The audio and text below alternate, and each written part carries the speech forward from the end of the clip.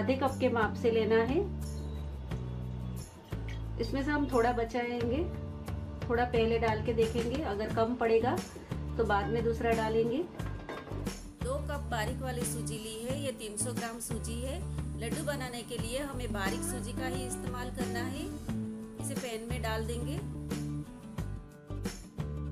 अच्छे से चला के सूजी को मिक्स कर लेते हैं, ताकि पता चले कि बाकी का घी हमें डालना है या नहीं। घी को हमने अच्छे से मिक्स कर लिया है और हमें थोड़ा कम लग रहा है तो हम बाकी जो बचाया था वो घी भी डाल देंगे। यानी पूरा घी हम आधा कप डाल देंगे। लो टू मीडियम फ्लेम पे सूजी को लगातार चला के भून लेते हैं। सूजी हमने बारीक वाली ली है तो इसे लगातार चला के ही भूनना है और धीमी आँच पे ही सूजी को हम भूनेंगे। सूजी को हमने 17 से 18 मिनट तक भुना है और आप देख सकते हैं इसका कलर भी चेंज हो गया है और इसकी खुशबू भी बहुत अच्छी आने लगी है। छह से सात बादाम को हमने चॉप करके लिया है, ये अंदर डाल देते हैं।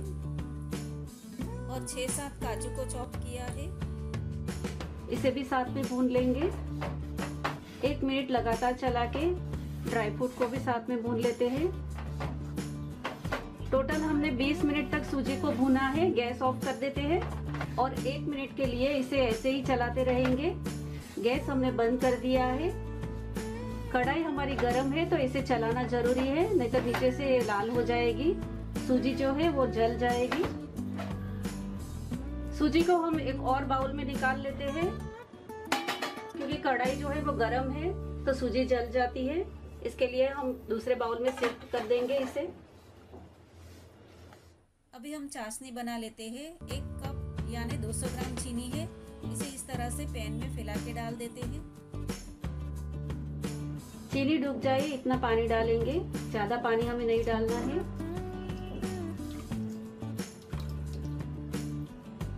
आधा कप पानी हमने डाला है। मीडियम फ्लेम पे लगातार चला के चीनी को मेल्ट कर लेते हैं। मीडियम फ्लेम पे लगातार चला के चीनी को मेल्ट कर लिया है। अभी चाशनी बॉईल होने लगी है। एक तार की हमें चाशनी बनानी है। लो टू मीडियम फ्लेम पे चार से पाँच मिनट हमने चाशनी को उबाल लिया है। अभी हम इसे चेक कर लेते हैं। इसे थोड़ा ठंडा करने के बाद इसे चेक करना है। एक तार की चाशनी हमें बनानी है और एक तार बन गया है। गरम गरम चाशनी में ही हम सूजी भून के रखी है, ये डाल देंगे। इसे हमें गरम चाशनी में ही डालना है। मिक्स कर लेंगे। आधे टीस्पून इलायची का पाउडर डाल देंगे। एक टेबलस्पून हमने चिरौंजी ली है, ये डालेंगे। ये ऑप्शनल है, आपको नहीं डालना है तो स्किप कर सकते हैं। अभी अच्छे से मिक्स कर लेंगे इसे। हमने इसे अच्छे से मिक्स कर दिया है। लड्डू का मिश्रण थोड़ा गीला लग रहा है तो सूजी चाशनी सब एब्जॉर्ब कर लेगी तो ये थोड़ी ड्राई हो जाएगी।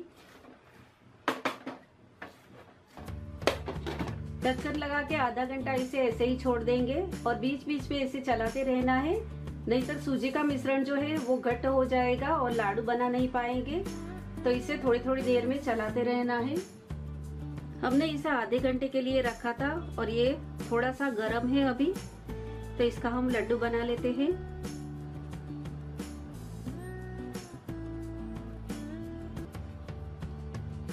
पर हम एक पिस्ता की स्लाइस रखेंगे।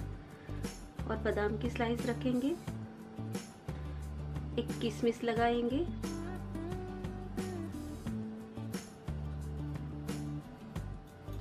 इस तरह से इसे थोड़ा गोल गोल घुमा लेंगे। इस तरह से हम सारे लड्डू बना लेते हैं। अगर लड्डू का मिश्रण थोड़ा ड्राई हो जाए और आप लड्डू नहीं बना पाए तो इसमें एक से दो चम्मच दूध मिला के आप मिक्स कर सकते हैं या फिर गरम घी करके इसमें डाल सकते हैं तो लड्डू अच्छे से बन जाएगा। सूजी के लड्डू रेडी है ये एकदम टेस्टी बना है। सूजी के लड्डू को एयर टाइट कंटेनर में भर के रूम टेम्परेचर पे 20 से 25 दिन तक आप स्टोर कर सकते हैं। अगर आपने लड्डू बनाने में दूध का इस्तेमाल किया है तो इसे रूम टेम्परेचर पे न रखें। इसे एयर टाइट कंटेनर में भर के फ्रिज में ही स्टोर करें। तो ये 15 से 20 दिन तक अच्छे से रहेगा। रेसिपी आपको पसंद आए तो इसे लाइक करें शेयर करें और मेरे चैनल को सब्सक्राइब करें। कमेंट बॉक्स में लिख के मुझे ज़रूर बताइए कि आपको ये रेसिपी कैसी लगी।